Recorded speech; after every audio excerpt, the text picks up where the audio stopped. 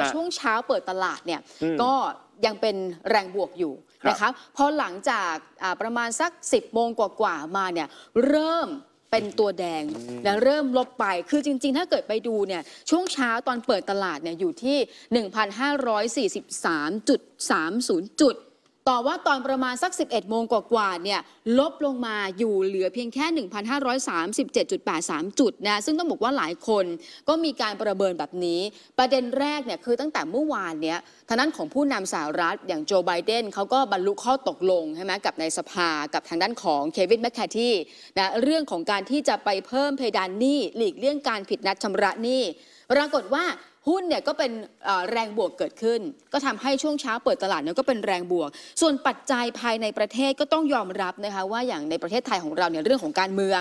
การจัดตั้งรัฐบาล ปัญหาประธานสภาทั้งพรรคก้าวไกลพรรคเพื่อไทยวันนี้เองเนี่ยมันอาจจะยังไม่นิ่ง ซึ่งกสิกรไทยเนี่ยเขาก็มีการประเมินว่าตลาดหุ้นไทยมันอาจจะมีการแกว่งตัวแบบเนี้ยแต่มันเป็นการแกว่งตัวในกรอบแคบอยู่ ซึ่งวันที่ 30พฤษภาคม ก็อาจจะมีการพูดถึงเรื่องของประเด็นการปรับขึ้นอัตราดอกเบี้ยด้วยแต่ว่าตั้งแต่วันที่ 15 พฤษภาคมเนี่ยจนถึง 29 พฤษภาคม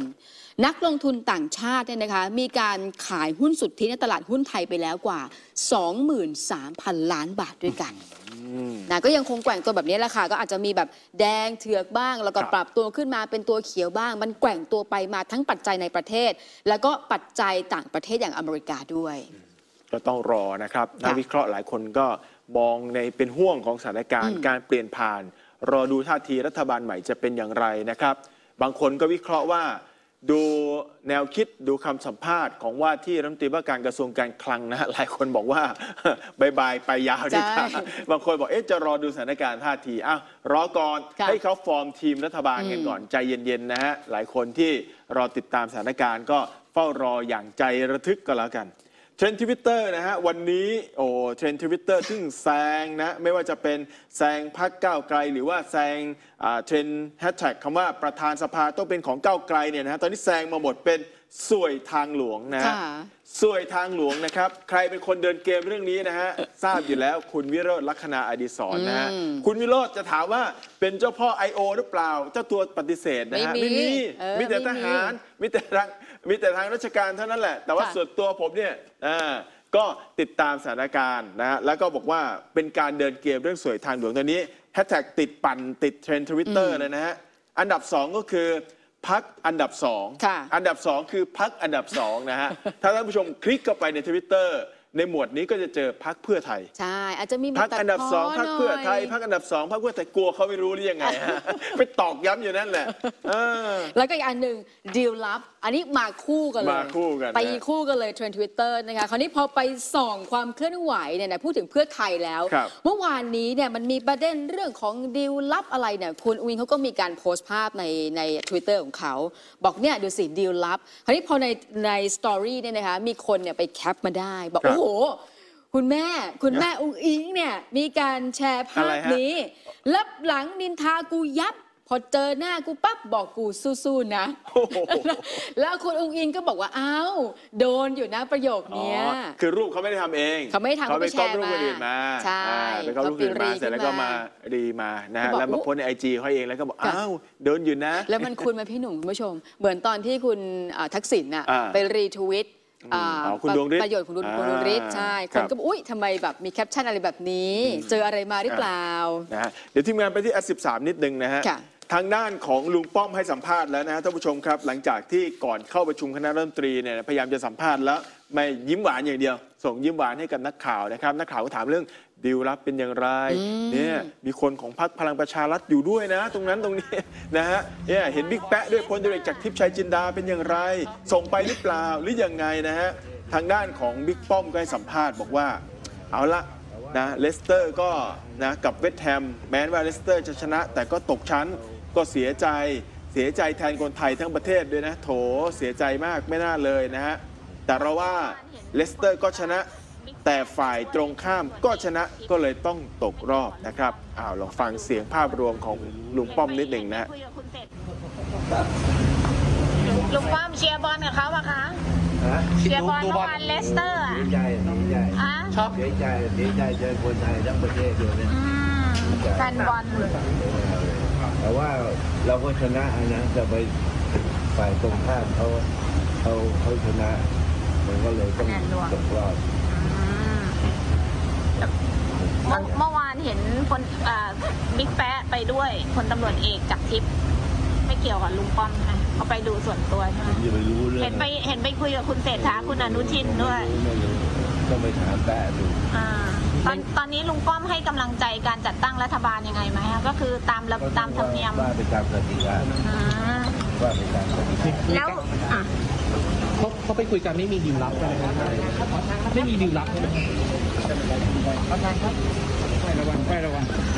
ลุงป้อมกับลุงตู่นี่จะจะจับมือกันเพื่อรวมคะแนนเสียงให้ได้พักไปต่อรองไหมฮะไปถามตู่ดูเหรอคุได้คุยยังไม่ได้คุยกันเหรอคะเพราะว่าถ้า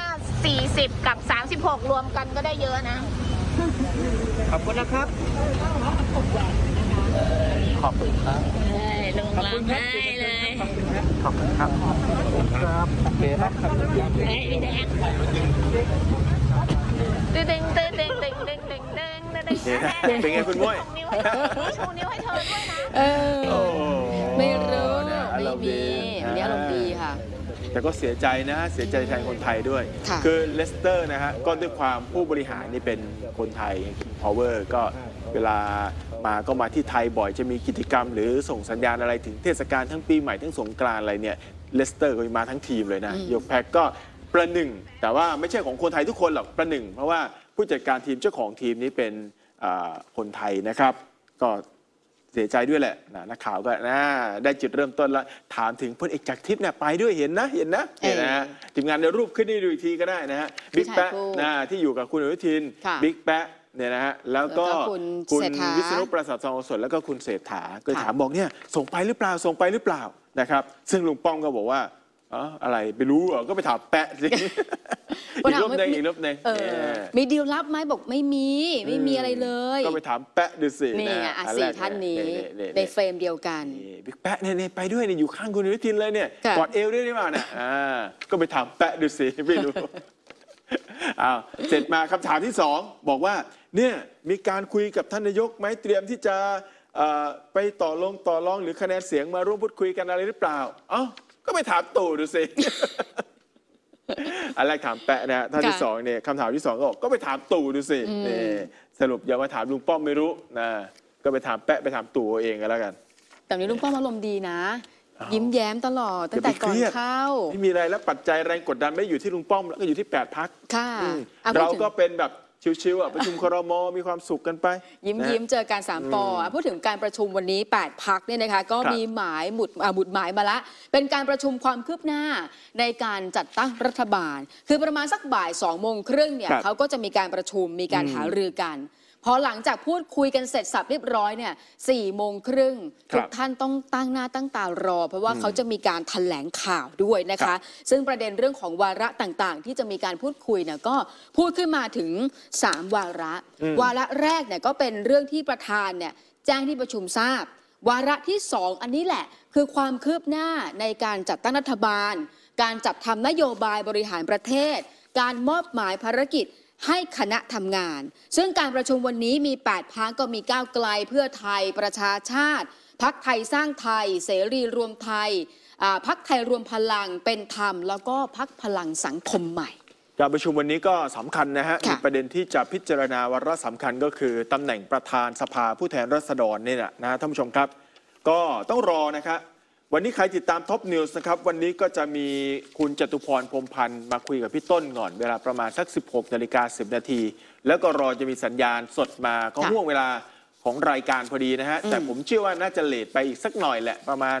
16 40 45 ก็ดูยาวต่อเนื่องจนไปถึงเนี่ยรายการท็อปอินไซต์ค่ะของคุณหมิวคุณม้วยด้วยตอนเย็นนะฮะก็รอติดตามที่ท็อปนิวส์ของเราก็แล้วกันนะครับ วันนี้วาระสำคัญที่บอกนะฮะเกี่ยวกับเรื่องของคนที่จะมาทำหน้าที่ประมุขฝ่ายนิติบัญญัติตอนนี้มีประมาณ 5 คนนะฮะ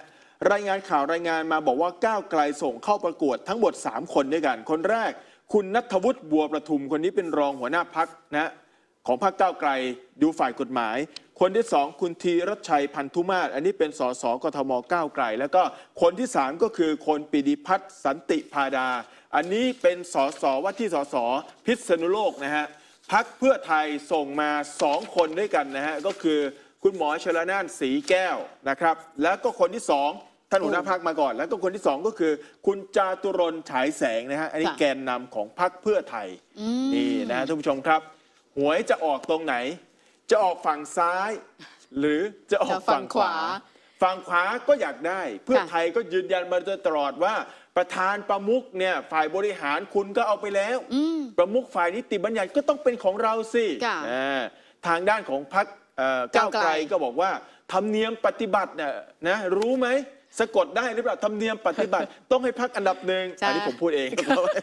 เขาบอกไม่ได้พูด เอะเออนะโดยสรุปวันนี้ก็เลยต้องรอนะฮะ ค่ะ คุณชัยธวัฒน์ตุลาชนก็มีการอ่าพูดอ้างอิงถึงอ่ากรณีเรื่องของประธานสภานี่แหละ แล้วก็ไปพูดถึงอาจารย์วันนอร์นะคุณวันนูมูฮัมหมัดนอมทาท่านประธานอ่าท่านหัวหน้าพักประชาชาติเนี่ย ก็พูดอยู่โดยตลอดอยู่แล้วว่าธรรมเนียมปฏิบัติเนี่ยมันต้องเป็นอย่างไรตำแหน่งเก้าอี้ประธานสภาก็ต้องเป็นพักอันดับหนึ่งนั่นแหละนะซึ่งก็ต้องรอดูว่าจะเป็นอย่างไร ส่วนวันนี้แนวทางการประชุมครั้งแรกตั้งใจว่าจะมีการหารือนะวนไปทุกพัก วันนี้ก็เริ่มที่ประชาชาติก่อน หลังจากนั้นรอบต่อไปก็จะวนไปที่พักอื่นๆนะครับเพื่อเป็นการให้เกียรติกัน ในวันมูฮัมหมัดนอมาทาเป็นผู้หลักผู้ใหญ่ ก็ได้กล่าวบอกว่าเนี่ยที่สุดแล้วเนี่ย ก็เลยเลือกพักประชาชาติก่อน เพราะเป็นพักผู้ใหญ่ หลังจากนั้นก็จะมีการเสนอให้ที่ประชุมร่วมของพักร่วมนะฮะเพื่อที่จะไปหารือกันต่อประมาณสักสัปดาห์ละครั้ง หรือว่าสองสัปดาห์ครั้ง ก็ต้องรอดูกันนิดหนึ่งจนกว่าจะมีการจัดตั้งรัฐบาลได้วาระสำคัญก็วันนี้แหละนะฮะก็จะเป็นทั้งการตั้งคณะกรรมการเปลี่ยนผ่านรัฐบาลนะฮะหรือว่าเอ่ออะไรเนี่ย transition ทีมนะฮะแล้วก็เป็นการตั้งทีมขึ้นมาหลังจากที่มีการลงนามไปแล้ว คือเดินไปตามแผนนะฮะตามแผนตามเอ่อการ MOU ครั้งนั้นที่ได้มีการพูดถึงก็ต้องรอติดตามกันแล้วกันนะฮะค่ะพอพูดถึงเรื่องของประธานสภาพูดถึงเรื่องของนายกหลายคนก็ไปโฟกัสที่เอะสวเนี่ยนะจะทำยังไงจะขยับหรือจะบวชให้เขาหรือเปล่าเป็นอย่างไร วันนี้มีข้อมูลจากอาจารย์พรเพชรวิชิตชลชัยนะฮะท่านประธานวุฒิสภา เปิดเผยข้อมูลเรื่องของสว. ถูกรุมกระหน่ำ summer sale เหมือนกันช่วงนี้ค่ะบอกว่าตัวเองเนี่ยก็มองแบบนี้ว่าที่ถูกกระแสสังคมโจมตีเรื่องของการโหวตนายกเนี่ยตัวเองก็ไม่ได้มองอะไรเนี่ยมันก็เป็นกระแสตามโซเชียลส่วนสมาชิกวุฒิสภาเองเนี่ยก็ยังไม่ได้มีการคุยอะไรกันมาก เพราะว่าทุกท่านมีวุฒิภาวะ มีความรู้ความตั้งใจในการทำงาน เพื่อประโยชน์แก่ประเทศชาติ แล้วแต่ละท่านเองเนี่ยก็มีความคิดเป็นของตนเอง มีอิสระ แต่ว่าอิสระเนี่ยไม่ได้หมายถึงว่าจะเป็นตามตามความอำเภอใจ แต่ว่าต้องคิดถึงประโยชน์ของประเทศชาติมากกว่า ขณะเดียวกันเนี่ยนะคะเขาบอกว่าถ้าเกิดว่าถ้ามองดูแล้วเนี่ยมันจะมีการสวนโหวตกันไหมหรืออย่างไร หน้าที่ต่างๆ หรือว่าหลักต่างๆ จะเป็นอย่างไรเนี่ยลองไปฟังบางช่วงบางตอนหน่อยค่ะก็ไม่สามารถจะให้นะครับ เพราะว่าที่ตามกระแสก็เป็นตามโซเชียลตามอะไรที่พูดมา สมาชิกก็ตอนนี้ก็ยังไม่ได้เปิดประชุม มีเปิดประชุมชั่วคราวไปครั้งเดียวก็ไม่ได้มีการพูดจาอะไรกันมากมาย แต่ผมอยากจะเรียนว่าสมาชิกทุกท่านเนี่ยนะครับ มีวุฒิภาวะ มีความรู้ มีความตั้งใจที่จะทำงานเพื่อประโยชน์แก่ประเทศชาติ แต่ละท่านก็มีความคิดของตัวเอง แล้วก็มีความเป็นอิสระและความอิสระนั้นไม่ได้ความว่าตามอำเภอใจ แต่ท่านจะต้องคิดถึงสิ่งที่ เป็นเป็นประโยชน์กับประเทศชาติ ผมก็เชื่อมั่นว่าท่านจะทำหน้าที่อย่างนั้นนะครับ ส่วนการที่จะมีใครมาว่านั่นก็คงเป็นส่วนน้อย ส่วนน้อยนั้นอาจจะเสียงดังกว่าก็ได้ ท่านประธานให้แนวทางกับสมาชิกไปบ้างไหมครับ ว่าการโหวตเลือกนายกรัฐมนตรีจะต้องมีคุณสมบัติอย่างไรไม่ไม่ไม่ไม่ไม่ไม่ได้ให้ไม่เคยให้แนวทาง เพราะผมถือว่าผมมีหน้าที่เป็นรองประธานสภาผู้แทนนะครับไม่อยู่ในฐานะที่จะไปแนะนำหรืออะไรใครได้นะครับ ได้พูด ไว้ก่อนที่จะมีการเลือกตั้ง ผมก็ได้พูดแล้วว่าต้องใช้หลักเป็นประโยชน์แก่ประเทศชาติ ซึ่งท่านก็ทราบดีอยู่แล้วว่าว่าควรควรจะทำยังไงไม่เคยที่จะไปชี้นำหรือไปทำอะไรนะครับแล้วยังยืนยันด้วยนะคะว่าก่อนหน้านี้ที่เคยมีกระแสข่าวเนี่ยว่าอาจจะมีการติดต่อการเจรจาจากพรรคก้าวไกลเนี่ยก็บอกว่าไม่เคยรับการติดต่อจากคณะเจรจาของพรรคก้าวไกลเลย ที่จะขอให้โหวตแคนดิเดตนายก ส่วนถ้าเกิดว่ามีคนติดต่อเนี่ยจะยอมเจรจาด้วยหรือไม่อย่างไรเนี่ย คุณพรเพชรก็บอกว่า เรียนเอาไว้แล้วว่าขอทำหน้าที่รองประธานสภาจะพูดแนะนำหรือว่าอะไรไม่ได้ ส่วนประเด็นเรื่องของการที่สวเนี่ยอาจจะมีประเด็นของกระแสข่าวว่าถูกกดดัน ถูกข่มขู่ตัวเองก็บอกว่าตัวเองเชื่อมั่นนะว่า สวนั้นจะสามารถปฏิบัติตามหน้าที่ของตัวเองได้ขณะเดียวกันเนี่ยนะคะ ก็ปฏิเสธให้ความเห็นถึงคุณสมบัติของผู้ที่จะมาทำหน้าที่ประธานสภา เพราะว่า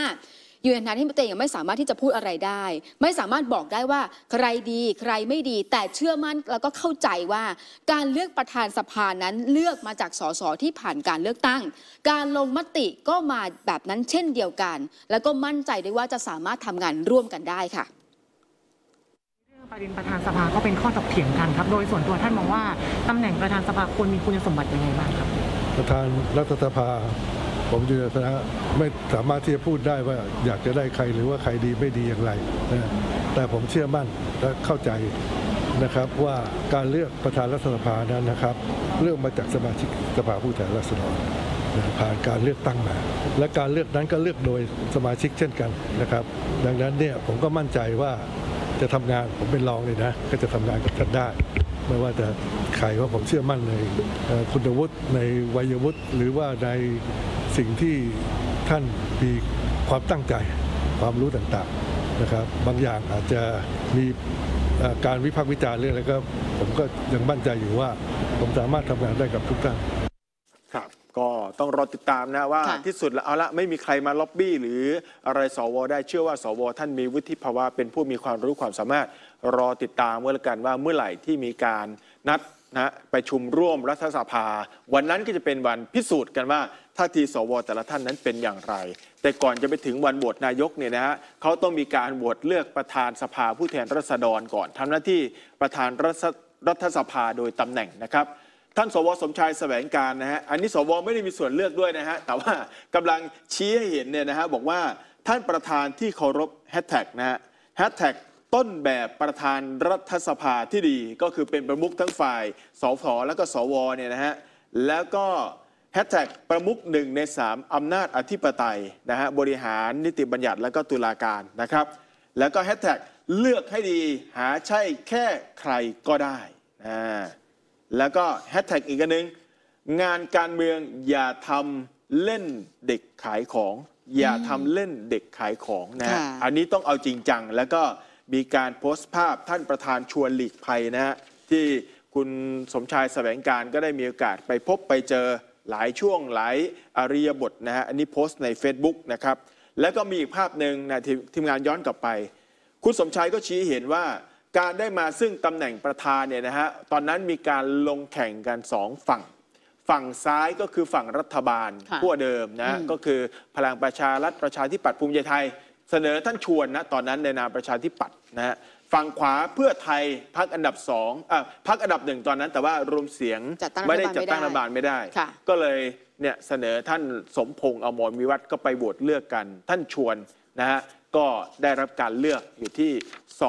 258 เสียงนะครับ นี่ให้เห็นนะฮะค่ะอย่าเลือกใครก็ได้นะฮะการเมืองอย่าทำเป็นเล่นขายของนี่นะฮะ ขณะเดียวกันนะฮะเรื่องของตำแหน่งประธานสภาก็สำคัญพรรคเพื่อไทยก็อยากได้ แฟนคลับมวลชนคนเสื้อแดงนะไม่ใช่เฉพาะส่วนกลางนะ ต่างจังหวัดก็เริ่มขยับกันแล้วนะครับ ผู้สื่อข่าวรายงานมาจากจังหวัดขอนแก่นนะครับ ที่ศูนย์ประสานงานเครือข่ายคนเสื้อแดงอีสานที่จังหวัดขอนแก่นนะครับ ผู้ช่วยศาสตราจารย์พันนวดีตันติสิรินนะฮะนามสกุลเหมือนสสเลยนะฮะที่ปรึกษาเครือข่ายคนเสื้อแดงภาคอีสาน ร่วมกับคนเสื้อแดง มีการประชุมแล้วก็ส่งสัญญาณถึงท่าทีบอกว่า วันนี้เนี่ยนะฮะที่ผ่านมาการเลือกตั้งเนี่ยคนแสดงแสดงออกอย่างชัดเจนสนับสนุนพรรคการเมืองยึดมั่นในอุดมการประชาธิปไตย แม้พรรคเพื่อไทยที่เราเชียร์นะฮะได้คะแนนไม่เป็นอันดับหนึ่งมาเป็นอันดับสองและไม่แลนสไลด์การประกาศนโยบายทิศทางการเมืองต่าง ๆ ของพรรคก็ต้องให้พรรคอันดับหนึ่งก็คือพรรคก้าวไกลนะครับ แต่อย่าลืมว่าคะแนนก็ห่างกับเราเพียงแค่ 10 คะแนน ก็คือ 10 ที่นั่งสสขณะนี้สองพักนะ ฝั่งประชาธิปไตยกำลังฟอร์มรัฐบาลกันแล้ว ส่วนตัวน้อมรับและก็ให้เกียรติพักอันดับหนึ่งในการจัดตั้งรัฐบาลก่อนนะฮะก่อน แต่ว่ามีก่อนแล้วก็ต้องมีหลังค่ะนะฮะให้เขาจัดตั้งก่อนนะฮะแต่มาในระยะเนี้ยท่าทีก็เริ่มเห็นเด่นชัดมากขึ้นคนหนุ่มไฟแรง เริ่มที่จะฟังเสียงสสกับสวด้วยกันนะฮะควรที่จะต้องให้เกียรติกัน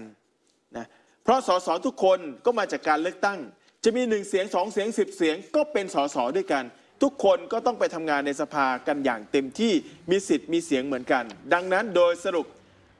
ขอให้ทุกฝ่ายถอยกันคนละก้าววันนี้พักเพื่อไทยถอยให้หนึ่งก้าวมากเพียงพอแล้ว เป้าหมายของเราคือแลนสไลด์ แต่ได้มาเป็นอันดับสองทุกคนสู้กันมาอย่างเหน็ดเหนื่อย พักอันดับหนึ่งก็ไปจัดตั้งรัฐบาล เราก็ร่วมมือกันสนับสนุน นั่นก็คือถอยมาให้แล้ว ขณะเดียวกันก็ต้องมองต่อว่า ตำแหน่งที่สำคัญนะก็คือตำแหน่งประธานสภาผู้แทนราษฎร โดยส่วนตัวคนแสอแดงมองว่า ตอนนี้เนี่ยเราสนับสนุนให้คุณหมอชลนาน ซึ่งเป็นผู้มีวิธิภาวะ สามารถจะดำเนินการการเมือง และมีความอัดแน่นด้วยประสบการณ์ เหมาะที่สุดนี่ล่ายาวมาสองชั่วโมงกว่า สาระสำคัญอยู่ท่อนนี้แหละ ค่ะคุณหมอคุณหมอชลนานชลนาน เหมาะที่สุดที่จะนั่งประธานสภาผู้แทนราษฎรนะอ้าวก้าวไกลรู้หรือเปล่า ถ้ายังไม่รู้ก็รู้ไว้ด้วยนี่เขาบอกมานะฮะค่ะ สำคัญนะตำแหน่งนี้นะฮะ เพราะว่าสิ่งหนึ่งที่หลายคนเนี่ยไปตั้งข้อสังเกตไงว่าตำแหน่งประธานสภาเนี่ยที่อยากได้เนี่ยคืออย่างก้าวไกลก็บอกว่าเอาล่ะเขาจำเป็นต้องต้องได้นะ คืออยากจะมีการผลักดันเรื่องของกฎหมายด้วยเนี่ยนะคะ วันนี้ นายกสมาคมสอาของทนายความประเทศไทย คุณณรินพงศ์เนี่ยก็เลยออกแถลงการเกี่ยวกับเรื่องตำแหน่งประธานสภาผู้แทนราษฎร ชี้แจงทั้งข้อเท็จจริง ข้อกฎหมายแบบนี้นะคะเขาบอกว่าตามรัฐธรรมนูญมาตรา 116 และ 117 สภาผู้แทนราษฎรเนี่ยจะมีประธานสภาคนหนึ่ง แล้วก็รองประธานสภาหนึ่งคน หรือว่าสองคนก็ได้ นะคะซึ่งพระมหากษัตริย์ทรงแต่งตั้งจากสมาชิกตามมติของสภา แล้วก็จะดำรงตำแหน่งจนสิ้นอายุของสภาผู้แทนราษฎร รัฐธรรมนูญมาตรา 119 ประธานสภาผู้แทนราษฎรมีอำนาจในการดำเนินกิจการของสภาให้เป็นไปตามข้อบังคับของสภา และต้องวางตนเป็นกลางในการปฏิบัติหน้าที่ ดังนั้น การที่พักการเมืองบางพักอ้างว่าจะต้องให้คนของตนดำรงตำแหน่ง เพื่อผลักดันร่างกฎหมายสำคัญเนี่ยอันเนี้ยมันไม่ใช่ เพราะว่าการบรรจุวาระในการพิจารณาร่างกฎหมาย มันต้องเป็นไปตามลำดับของร่างกฎหมายอืมที่ยื่นต่อสภาครับส่วนการเลื่อนวาระก็ต้องเป็นในมติของการประชุมสภาด้วย ประธานเนี่ยไม่ได้มีอำนาจในการบรรจุหรือว่าเลื่อนวาระส่วนการประชุมเพื่อการลงมติ ไม่ว่าจะเป็นการเลือกนายกเองก็ตามเนี่ยอันเนี้ย ก็ต้องได้รับความเห็นชอบเกิน 376 เสียง ครับแล้วหลังจากนั้นถึงจะมีการทุนกล้าวถวายได้ขณะเดียวกันสำคัญที่สุดเลยเนี่ยนะคะ คนที่จะได้รับการเสนอชื่อ ควรจะเหมาะสมทั้งวัยวุฒิคุณวุฒิ ได้รับการรับรองทั้งจากสสของพรรคการเมืองอื่น แล้วก็สว เพราะว่าทั้งหมดทั้งมวลแล้วเนี่ยต้องทำหน้าที่ให้กับทุกฝ่าย ไม่ใช่เป็นประธานให้กับพรรคการเมืองใดการเมืองหนึ่งเท่านั้นค่ะ ต้องเรียนนะฮะอันนี่คือสมาคมทนายความแห่งประเทศไทย ไม่ใช่สภาทนายความนะฮะค่ะท่านผู้ชมครับคนละอันคนละอันอันนั้นกันคือคนละสส่วนภากันทนายความนั่นอ่ามาแล้วก็มี อาองค์กรมีกฎหมายรองรับนะฮะแต่ว่านี่คือสมาคมก็คือกลุ่มทนายความ ก็มีการรวมตัวกันก็ไปขอทางด้านมหาดไทยแจ้งจดสมาคมค่ะนะตรวจสอบคุณสมบัติอะไรครบถ้วนก็จัดตั้งเป็นสมาคมได้นะครับ ก็โดยหลักแบบนี้ผมไม่อยากจะบอกว่าเชียร์พักไหนนะมีคำตอบอยู่ในตัวอยู่แล้ว ก็รอติดตามกันแล้วกันนะฮะอันนี้ในมิติของสมาคมนะฮะสมาคมทนายความนะครับ ขณะเดียวกันเนี่ยนะเดี๋ยวทีมงานไป2ขีดสินิดนึงนะฮะ ก็วันนี้ต้องมาดูความสำคัญอีกเรื่องหนึ่งนะฮะเรื่องของประธานสภา เดี๋ยววันนี้เขาจะประชุมกันบ่ายสองครึ่ง 16นาฬิกา30 นาทีเสร็จเสร็จเป็นต้นไปเขาจะแถลงความคืบหน้าบทบทสรุปจะมีเรื่องนี้ด้วยนะอ่าคุยกันหรือเปล่า หรือค่ะอาจจะคุยแต่เรื่องอื่น คุยกันแต่เรื่องคอรมอคุยกันแต่เรื่องของการรวมนะฮะ